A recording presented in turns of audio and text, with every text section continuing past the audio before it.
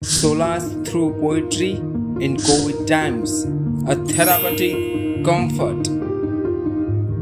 Time has proved again to be the strongest, challenging our willpower to be at its highest. The whole world is entering into darkness. At this moment, nature gives chance to be full of brightness. We may lose many kinsfolk and will always cherish their memories. As body dies, but soul is eternal. This unexpected pandemic is just like a surprise test. Don't know the questions, but still hope for the best. My dear friends, we can't change anything but fight. Recall positive beliefs and strive to fly like a kite. Today, meditation, yoga, pranayama are very helpful. Follow this precious path to feel extremely blissful. Recall few previous days and take a look. Did we move on or still there is a hook?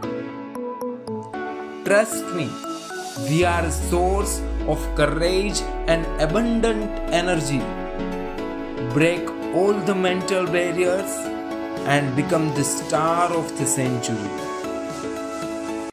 Utilize this golden time to create something, sharpen your skills, and max possible anything.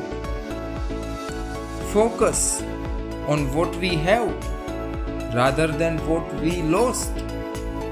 It will give us back with interest at any cost.